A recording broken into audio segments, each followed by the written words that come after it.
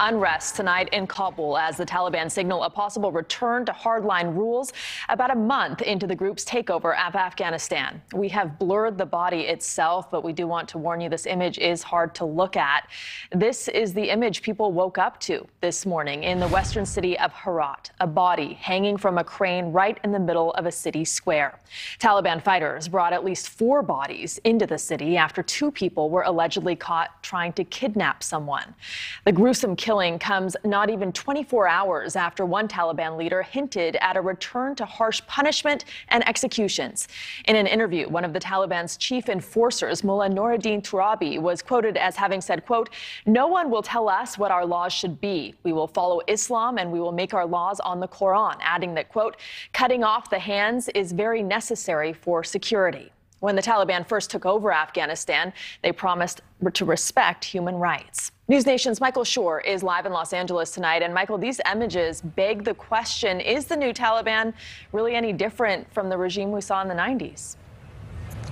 You know, uh, uh, to, to, hear what the mullah said there, it makes you think absolutely not. Went on also to say, uh, Rudabeh, that these uh, these sorts of public executions are, may not happen the way they did, but they are still going to be law and order there.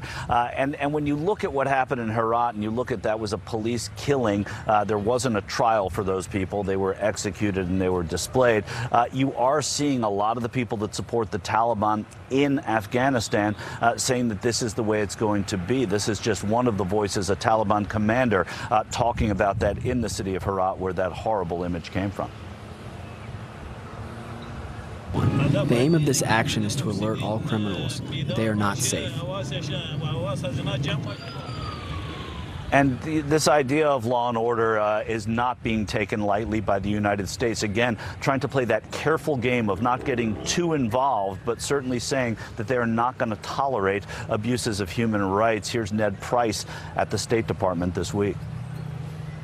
We condemn in the strongest terms uh, reports of reinstating amputations and executions of Afghans. The acts the Taliban are talking about here would constitute clear, gross abuses of human rights. Uh, and, and, so, Bay, I mean, you're, you're, seeing the American response talking about human rights, not talking about violations of any sort of international treaties, but talking about human rights. That seems to be the approach they've begun to take. So, Michael, what does this mean for the Taliban's quest for international legitimacy? Well, look, I, I, think when you think about international legitimacy for the, the leaders of this country, you have to say that it's, uh, you know, trust but verify to go to the old cliche because these, this is who is running this country. The United States is saying they're not going to get involved in the politics there, but they are going to have to push to tamp down terrorism in Afghanistan. In order to do that, they're going to have to use uh, an alliance, a very tenuous alliance that they have with Pakistan. And Pakistan today uh, is saying that they're going to have to see more response from the United States to not blame Pakistan for what happened in Afghanistan. Uh, so you're seeing a lot of back and forth. Both countries, though, are vital to keeping terrorism down there, and the Taliban is going to have to work with them to that end.